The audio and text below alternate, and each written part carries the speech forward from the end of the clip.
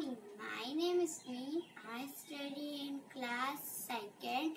I played for the pia- guitar.